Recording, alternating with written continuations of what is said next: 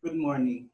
So in this in this video, um, we're, we're going to solve uh, problems wherein wherein we have multiple reactions. Basically, basically kamukha pa rin nung ano no, kamukha pa rin nung last topic natin wherein we're using the extent of the reaction concept to find the number of moles of each chemical species. Yun nga lang, ang unique sa video na to is we're going to consider problems wherein we have multiple reaction. Unlike unlike the previous video na yung kinonsider natin, isa lamang yung reaction. okay, so let, let me share you din. Uh, basically, ang difference lang naman is uh, we're, we're going to use a new equation kasi nga multiple reaction uh, other than the ano the, the normal extent of the reaction equation. Bali, extended equation yung gagamitin natin to to consider multiple reactions. So let me share you the, the PowerPoint.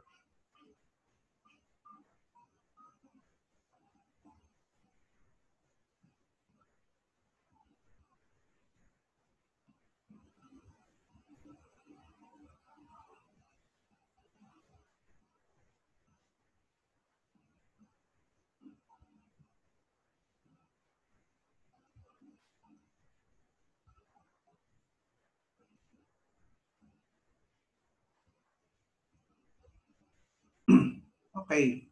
So this is this is our new equations ano, that we're going to use for multiple reactions. and as you can see, this is the same concept, the same concept of extent of a reaction, E. No? we're going to use the concept of extent of a reaction uh, to solve the number of moles in a given problem. Pero this time, we have multiple reactions.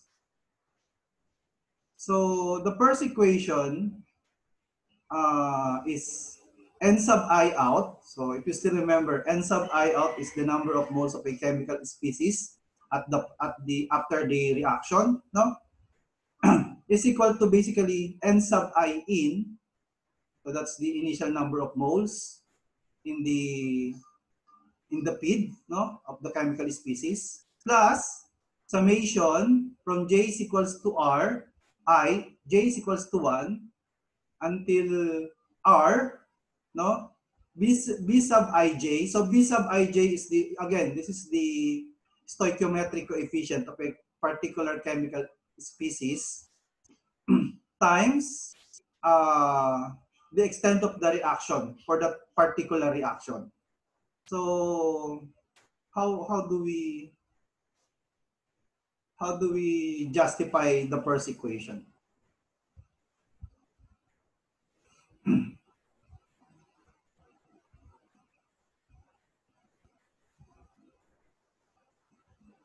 Let me scribble some notes. No? So as you can see, this is this equation is just the same as the ordinary extent of the reaction equation. So the ordinary extent of the reaction equation is n sub i minus n sub io divided by b sub i. Now, if we're going to isolate n sub i, this n sub i is the n sub i out, and this n sub io is the n sub i in. No? if we're going to isolate n sub i or n sub i out. So let me rewrite this. You know? So n sub i is just the same as n sub i out. And n sub i o is just the same as n sub i in. And then divided by b sub i. b sub i pa rin naman sa kabila. Ano? So I'm going to isolate n sub, n sub i out. If we're going to isolate n sub i out, you need to transpose b sub i to the other side of the equation. So basically, you're going to get uh, e times b sub i. This e is the same as your epsilon. No, e times b sub i, and then on on on this side, you will have n sub i out minus n sub i in. you're going to isolate n sub i out, this will be summation uh, epsilon times b sub i plus n sub i in. Okay? So notice the notice the similarity of this equation and the last equation. Sorry, sorry. Notice the similarity of these two equations. Huh?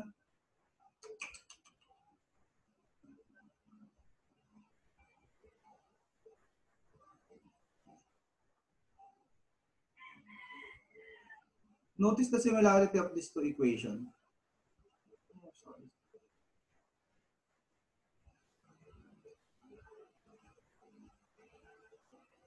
Notice the similarity of these two equations. So, ito yung n sub i in, tapos ito yon. Tapos itong summation of b sub i times e, f, uh, extent of the reaction, ito yon. Ano?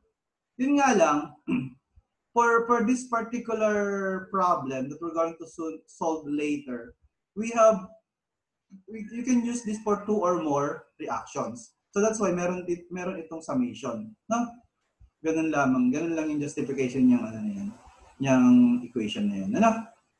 So if we have multiple reaction and then so you're just going to take the sum of the uh, epsilon times b sub i, ito naman constant naman kung n sub i. Ano kahit ng multiple reaction. Kung ilan ilan yung number of moles na pumapasok uh, dun sa reactant. And then you'll be able to find out the number of moles of particular chemical species uh, that is still present after the reaction. Okay, so I, I hope you you get this justification. So the next the next equation, this is an equation that we can use to double check, no? If kasi we're, we're going to solve lots of numbers, ano?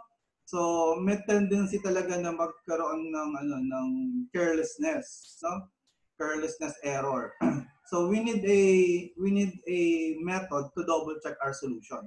So actually hindi naman necessary gawin tong ano, itong second equation. Pero, syempre, maganda rin kung mado-double check niyo yung, ano, yung solution niyo. so, the second equation gives you the total number of moles. And, and here is the total number of moles, no? In the product. And summation of n sub i out. So, you can see summation of n sub i out. So, this is total number of moles in the product. Ano? Ito yun. So, if you will imagine, if, if, after solving the problem and then you have the n sub i out of all the chemical species. So basically, all you need to do is add, add all those values and then you're going to come up with n. Okay. Ang problema dyan, if one, if one of your calculation is wrong, you will have an error in calculating n. No? So, in order to double check that, if, if, if all your calculations are correct, we're going to use this equation. No? So, basically, this is just summation of n sub i in, no? Plus the summation of all b sub i times e sub i from all of the reactions. So basically parang it's just you just added no yung sum nung lahat nung equation number one. We're going to call this equation number one. You just you're just uh, getting the sum of all the ano equation number one. Kumbaga, you're just doing this. Ito, itong portion na to, ito yon. Tapos itong portion na to, ito yon. Parang inuulit nyo lamang. Ano? Pero syempre, pag inulit nyo, tapos iba yung order ng, parang iba lang yung order ng addition nyo, uh, most probably you can, you can ano, you can, you can isolate the error. No? So pag hindi sila parehas, yung na-calculate yung n total at saka ito, may, meron kayong error na na-commit sa calculation ng n sa bayaw. So basically, pan-double check to. Ano? so I, I hope you can you can understand the mathematics. When when you when you get the sum of n sub i outs, it's it's just like getting the sum of the n initials and the sums of ano b sub i, e sub i uh, for all of the reactions. So I hope you can you can imagine how how this equation is being derived. Ano? Actually, hindi naman mahalaga yan. Pero ano naman kasi yan, parang obvious naman yan. Ano? Kumbaga, it doesn't need a justification. Okay, so we're going to uh, use these two equations in order to solve problem 10.3.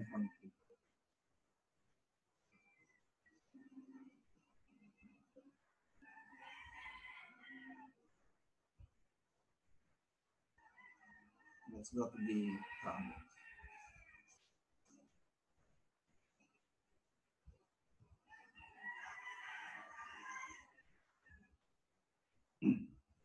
Okay. So this is problem 10.3. Material balances for a process in which two simultaneous reaction occur. I think you can you can use this uh, equation, yung diniscuss natin dalawang equation, to solve for probably even two or three. Pero seldom naman mangyari. Usually, dalawang reactions lang yung ano, nangyayari. kung, kung pag tinignan nyo, yung dalawang reaction usually they, they are in series, ano, one after the other. Kung minsan, pwede rin parallel, pero madalang din yung ganun. Usually, it's a series. Okay, so let's consider this. formaldehyde, this is formaldehyde, um, we're going to have your organic chemistry. This is the uh, chemical species that is dissolved in water to form your formalin. formalin. so this is produced industrially by the catalytic oxidation of methanol. So methanol is CH3OH. So narinig na rin siguro yung methanol, ano? Yan yung nagkakos ng death sa lambanog, you know, methanol. According to the following reaction, so methanol plus one half oxygen will give you formaldehyde and water. Okay, that's the first reaction. Ito yung unang reaction. Ano? Ah. Unfortunately, under the condition used to produce formaldehyde at a profitable rate, a significant portion of the formaldehyde reacts with oxygen to produce CO and H2O. That is, CH2O plus 1 half O2 will give you carbon monoxide plus water. So merong side reaction. Then, as you can see, ang, ang product na gusto natin, yung formaldehyde, yung CH2O. Kaya lang, yung half reaction, kino-convert siya sa carbon monoxide plus water. No? So, and this, yung, yung reaction number 2 is generally the undesired reaction.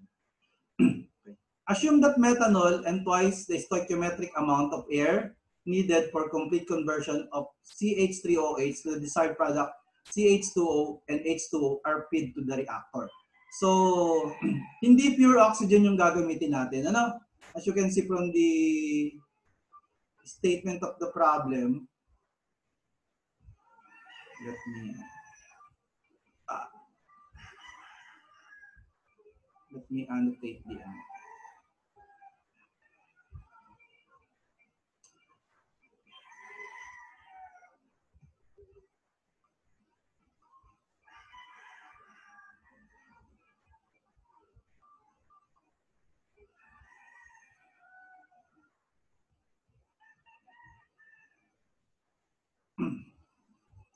Okay. So as you can see from the statement of the problem, we are going to use air rather than pure oxygen. Ano? So we're going to use air rather, rather than pure oxygen. so aside from oxygen, ang consequence nito, meron tayong nitrogen. And then you're going to use the ratio. You need to remember that for every 79 moles of nitrogen in air, you, uh, there will be ano, 21 moles of oxygen present. Needed for complete conversion of CH3OH to the desired product CH2O and H2. also assume that 90% conversion of the methanol results. So halimbawa, we're, going to assume na 100 moles of uh, methanol enters the reactor. Ibig sabihin ng 90% conversion, um, 90 90 moles ng methanol mawawala, no? Mako-convert yun sa formaldehyde. So 1 is to 1 naman, di ba? So you're, you're going to have 1 mole of formaldehyde and 1 mole of water. also, uh, and that A, 75% yield of formaldehyde occurs based on theoretical production of formaldehyde by reaction 1. okay. So paano nangyari yon? Di ba sabi na nga, 90% ng methanol na convert into formaldehyde. So you're expecting there will be 90% yield of formaldehyde. Ano? Pero sabi sa problem, 75% lang daw. So 75% lang yung naging yield kasi yung halimbawa, yung 15 moles, no, yung 15 moles ng formaldehyde, uh, nag-undergo siya ng second reaction. So na-convert sa carbon monoxide at saka water. Ganun yung ano, no? Ganun yung interpretation ng problem. Okay, so you are asked to determine the composition of the product. That means the percentage of each gas in the product leaving the reactor. okay, so basically, paano ba ito isosolve? Uh, so the first step,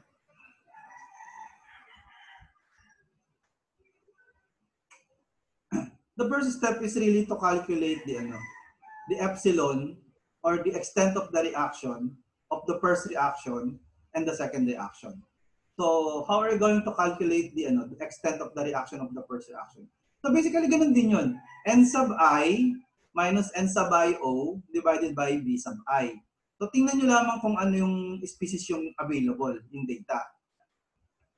so, pwede nyo, halimbawa, mag-assume mag kayo na 1 mole ng methanol yung pumasok sa reactor. So available yung initial ng ano, N sub IO ng methanol, 1 mole. Tapos 90% yung na-convert. So ibig sabihin kung 90%, ang matitirang methanol 0.1 na lang. And then ang kanyang B sub I ay negative 1, di ba? Ganun lang 'yun. So you can you can you can calculate the E E1, no? The extent of the reaction of the first reaction. so yung sa second reaction naman, uh, kasi 75% lang ano. so yung yung point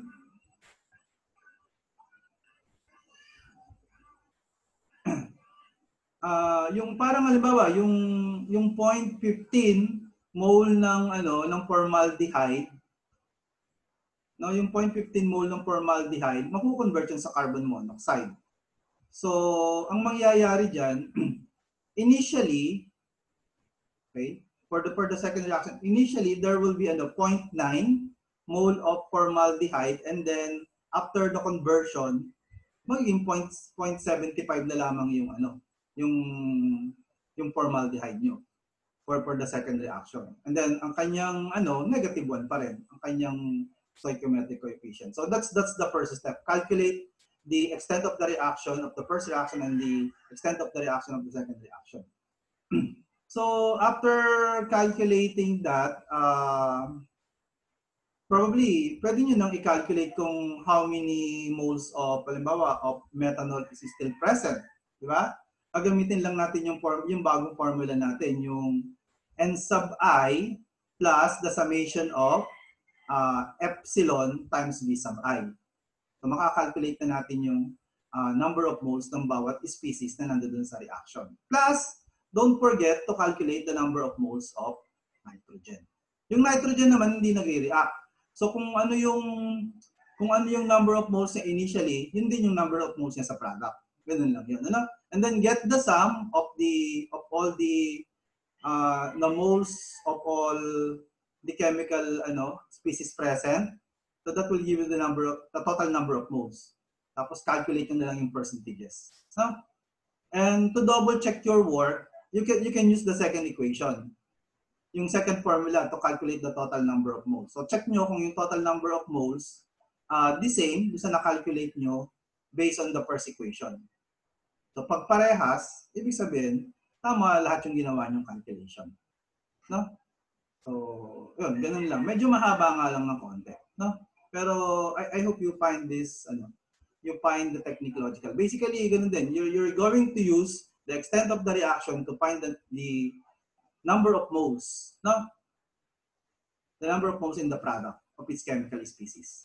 Okay, so let's let's start. Let's start by calculating the ano, the extent of the reaction.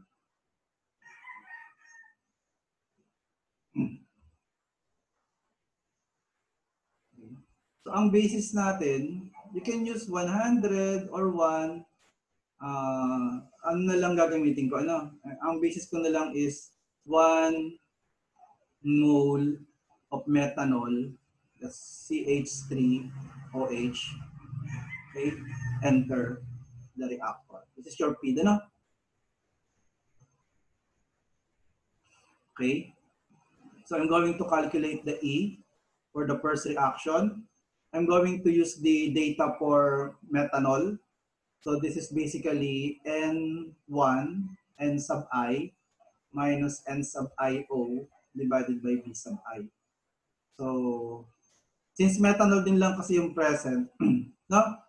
Uh, tapos 90% yung conversion. So, ang matitira na lamang ay 0.10. 90% kasi yung conversion ng 1. Ano? You remember the equation on how to calculate this n sub i pag may conversion? So, it's just n sub i, n sub io times 1 minus x. Yun lang yan. Ano? So, halimbawa, we have, you have 1, tapos 1 minus 0.9. So, this will give you 0.1. Ito yung n sub i. And then, n sub io, yun yung basis natin is 1. And then, take a look at the first reaction. Uh, ang methanol ay reactant. So negative 1 yung kanyang isang. So ang extent ng first reaction ay, this is negative 0.9 divided by negative 1. This will give you 0.9.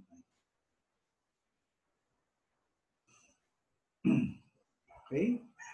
So extent of the reaction 2. So ganun ulit, ano? The same equation, n sub i minus n sub io divided by b sub i. So, ang available din natin data for, for the reaction 2 is still our methanol. Ito pa rin yung available. Ano? So, itong, itong 0.9 mole na to ng methanol,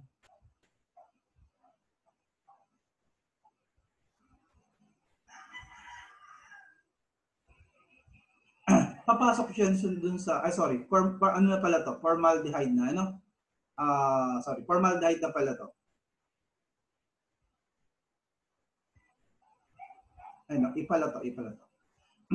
Pero ano lang, ito to, kasi 90% yung conversion, so 0.9 mole yung, ano, yung formaldehyde natin. Ano? Initially, 0.9 mole siya. Tapos ang makukonvert dito, 15, 0.15, ano? So, ang ang final concentration nung ano nung formaldehyde itong CH2O ay 0.75. 'Di ba? Kasi minus 0.15. Okay? So 0.75 yung initial tapos 0.9 yung initial, ito yung final no? Kasi na-convert yung 0.15 sa carbon monoxide. I hope you can follow that.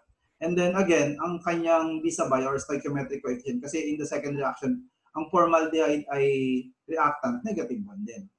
So, negative, this is negative 0.15 divided by negative 1. Ang, ang extent of the second reaction ay 0. Okay? So after after doing this, you, you're now ready to calculate the ano. So just just try to remember ano E1 is 0.9 and then E2 is 0.15. Anyway, susulat naman natin. Let, let me just clear this out para may space pa tayong ano, space pa tayong pagsulatan ng solution.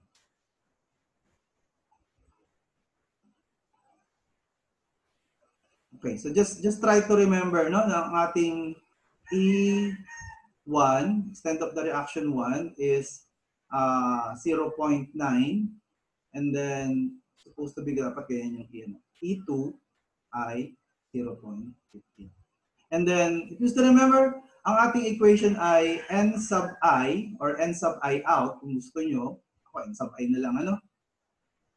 n sub i is equals to n sub i in, ito yung n sub i o ko, minus summation of, okay, b sub i times e sub i. Ganun lang yan. Na? So, consider niyo yung first reaction at saka second reaction. so, for example, yung ano, yung methanol, no? So, let's let's try to solve the number of moles of methanol. Okay? So, initially, meron tayong 1 mole of ethanol, di ba? Ito yung basis natin. Initially. This is your, this is our N sub IO. Ano, ito yon. This is our N sub IO. Tapos, uh, doon muna tayo sa first reaction. We're going to get the summation of B sub I, E sub I. okay? So, in this particular case, ang, ang B sub I ng ethanol ay negative 1. I think this is positive. Ano? It's positive. It's positive. Sorry, sorry. so, ang ang B sub I ng methanol, kasi nga reactant siya ay negative 1 sa first reaction. Tapos, ang E sub I ng first reaction ay 0.9. Okay? So, I hope you can you can follow that. so, yun yun. Yun yun sa methanol. Tapos, sa second reaction, uh, plus, ang, ang B sub I sa second reaction ng methanol ay, may B sub I ba dito? Sa second reaction, may methanol ba dito? So pag wala, zero yung B sub I niya. Okay? Tapos i-add nyo yung 0.15 times na 0.15. Anyway, 0 and times another number is just this 0. So wala rin lamang to. Ano? So as you can see, the number of moles of uh, methanol in the product, this is number of moles of methanol in the product is 0.10. Ganun lang, ano?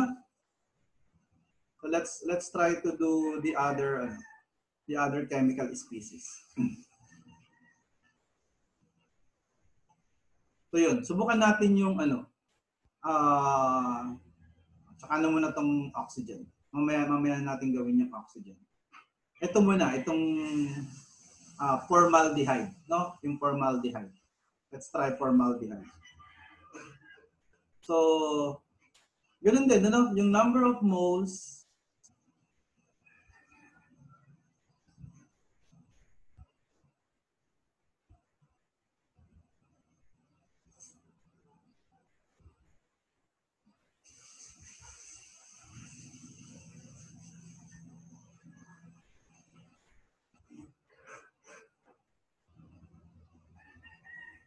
yung number of moles ng uh, formaldehyde, this is CH2O, ay equal do sa initial number of moles ng formaldehyde. Okay. Minus dun sa summation ng B sub i over times E sub i. Okay?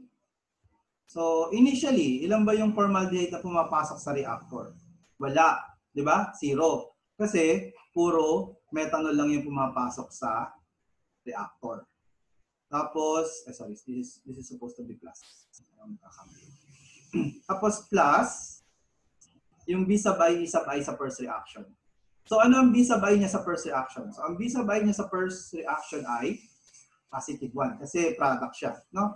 So, positive 1 And then ano ang E sub i ng first reaction? 0.9. So times 0.9. Okay. So wala na ano. Punta tayo sa second reaction. Sa second reaction, ito siya. Okay. So plus, again, B sub i. Anong B sub i niya sa second reaction? so sa second reaction, negative siya. No, kasi reactant yung ano, formaldehyde. So, negative 1. Tapos, ang isabay ng second reaction ay 0.15. So, as you can see, ang number of moles ng formaldehyde ay 0.75.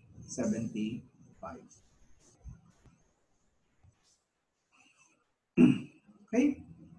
Uh, let's let's try water, no? Let's try water. And then you also need to calculate carbon monoxide and then oxygen. so let's try water.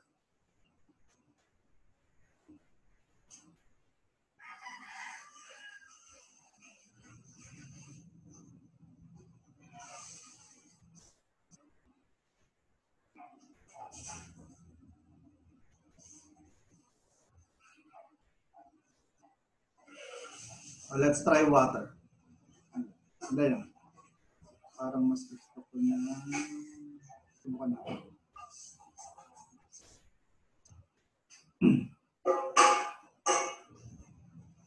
Let's try N water. So initially, ganun rin yung equation natin ano, N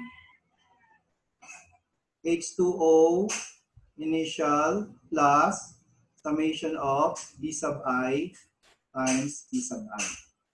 So, initial water is zero. Wala nang pumapasok na water kasi puro methanol. Tapos, sa first reaction, ano ang stoichiometric coefficient ng water? So, so it would be positive 1. Kasi product siya. Tapos, E sub i of the first reaction is 0.9. Try nyo lang yung dalawa. Tapos, let's go to the second reaction. Product pa rin ng water. So positive 1 pa rin. Tapos the second the second ano is E sub i is 0.15. Okay? So for water we have 1.05 mole. 1.05 mole of water. Okay? Probably we should be clearing this out. We still need to calculate ano, carbon monoxide and oxygen. So, yun, medyo mabilis lang naman yung carbon monoxide. Pwede natin isingit dito. So, number of moles of carbon monoxide, no? Zero yung initial. Tapos, sa first reaction, walang carbon monoxide. So, yung uh, B sub i, E sub i niya sa second reaction ay, sa first reaction ay zero. Tapos sa second reaction, ang V sub i niya ay positive 1. Ang E sub, e sub 2, E sub i sa second reaction ay 0.15. So ang carbon monoxide ay 0.15. okay? So, let check first kung tama yung mga ginawa. Uh, CH3OH 0.1 tapos CH2O, 0.75. Tama? Tapos 1.05 yung H2O. Okay, tama. Tapos yung CO ay 0.15. so let's let's try to calculate oxygen and nitrogen. I'm going to clear this out and para may space tayo. Ano?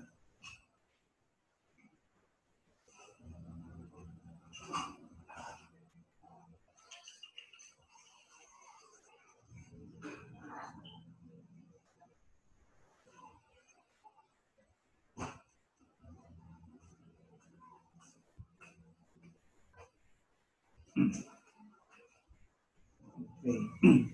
okay, sabi, sabi sa problem, yun daw amount ng oxygen ay twice, no? Twice ng stoichiometric amount. Pag sinabing stoichiometric amount, yun yung eksakto lang, no? Hindi siya excess. Pero sinabi twice, so from from the first reaction, you can see that you need one half mole of oxygen for every mole of methanol. So, pag sinabing twice, ibig sabihin yung one half, one half times two, uh, initially, no, initial number of moles of oxygen ay 1. No, this is 0.5 times 2. okay. So, first, let's try to calculate the amount of nitrogen. Yung number of moles ng, sorry, nitrogen. So, yung number of moles ng nitrogen initially at saka yung final number of moles ng nitrogen equal lang kasi hindi naman siya involved sa reaction. And then you can easily calculate this by using the ano, the conversion factor na 79 over 21. Ano? Kasi 1 mole of oxygen, no, is accompanied by 79 mole of nitrogen for every 21 mole of oxygen. So this is approximately 79 over 21. Ano? It's approximately 3, 3 point something, 3.76. so you have 3.76 mole of nitrogen.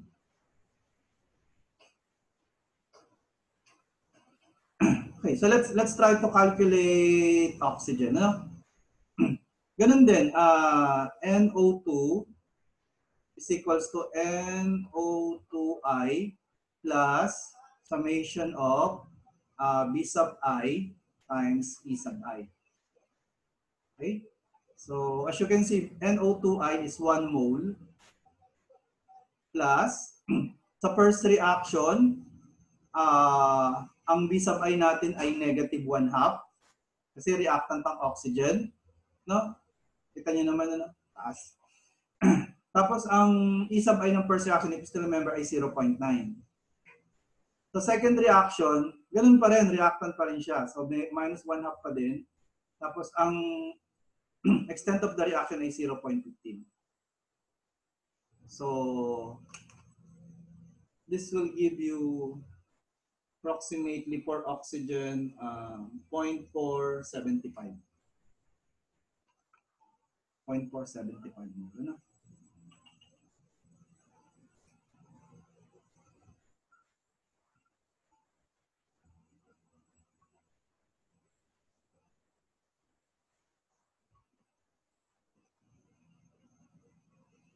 So that's it. We we we have all we have calculated all the ano, all the the number of moles of each chemical species. Ano? Yan lang naman yan eh. Isa-isa niyo lamang yung reaction. so may natira pa tayong oxygen, kaya may oxygen pa. Siyempre merong nitrogen and all the other reactants and product dun sa dalawang reaction. So methanol, formaldehyde, carbon monoxide, and water. okay. So, the next step is, in order to get the percentage, siyempre, kukunin niyo yung total number of moles. Tapos, you, you, can, you can easily calculate the percentages. Ano? so, ito, ano, 3.76. Add this up. 3.76 plus 0.475. And then, on the previous calculation, we have uh, methanol is 0.1 Diba? Number of moles of methanol na natira is 0.1. Tapos, ano po ba? Number of moles of formaldehyde is 0.75.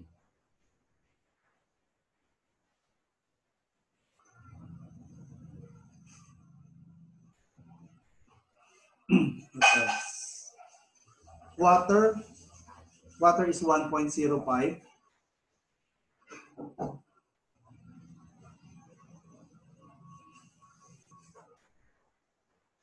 Is that all?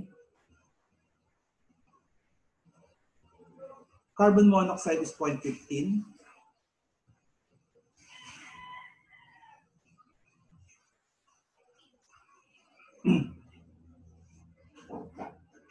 okay, I guess I guess that's that's all. Ano?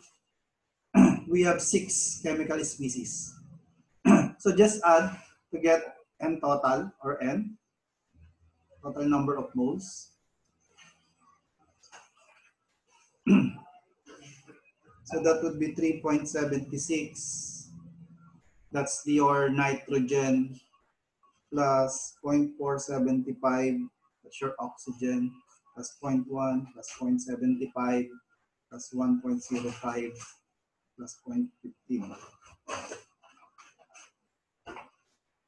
So mga 6.28, ano?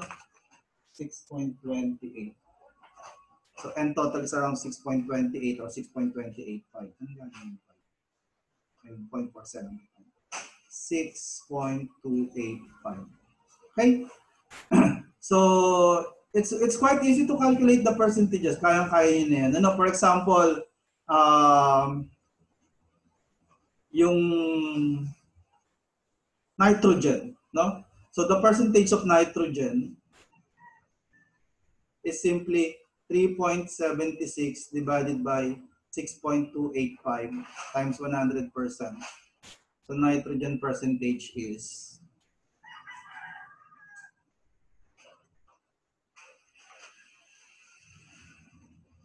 Fifty-nine point eighty-two percent. Ano?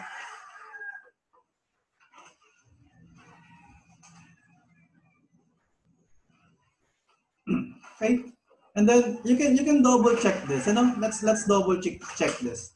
So let's let's use the second equation and then let's try to find out if the total number of moles from the second equation is also equal to 6.285.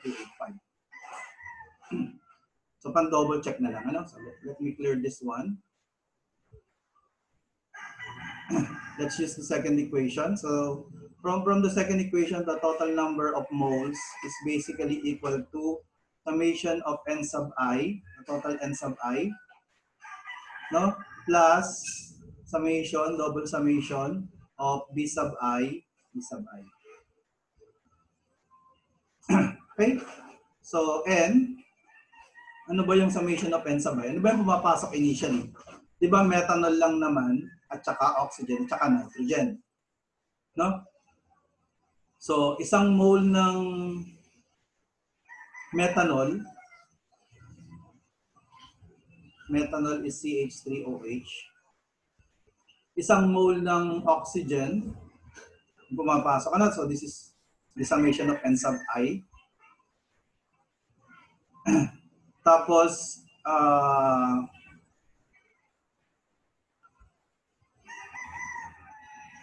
isang mole ng ano, ano, uh, 3 we have ano 3.76 mole ng nitrogen. Yun yung pumapasok sa reactor, no? Initially. Tapos this term naman, this term, let's evaluate this term. so for for the first reaction, ang E natin for the first reaction is 0.9, pare-parehas lang naman 0.9. So let's factor that out. And then let's add the ano, let's add the B, B sub i. So ang B sub i natin ay negative 1 for for methanol, then negative 1 half, no? For oxygen, kasi reactant silang dalawa, kaya negative, negative.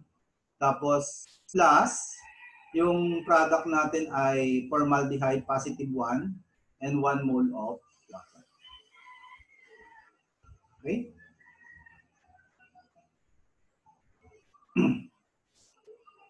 Zero point nine times negative one times negative one half plus one plus one. Okay, let's let's go to the second reaction. so for the second reaction, yung yung E second reaction ay uh, 0.15. Okay? Yung stoichiometric coefficient, ganun ulit, ano, negative 1, negative 1 half for oxygen, tapos positive 1 for carbon monoxide and positive 1 for So, ang total number of moles is just use your calculator. That would be 5.76 plus 0.9. Ilan yun? 2, 2 minus 1.5, that's 0.5 ano? Plus 0.15. The second reaction is also positive 0.5. So, using your calculator, you're also going to get 6.285. So, as you can see, itong ano, it's not really necessary to do this, pero pang double check, ano? To double check na tama lahat yung ginawa yung operation earlier. So, I, I hope you you get, ano, you get the technique for multiple reaction uh, using the extent of the reaction concept. so I'm going to to leave you with a, an exercise. Okay, and I hope you can solve it.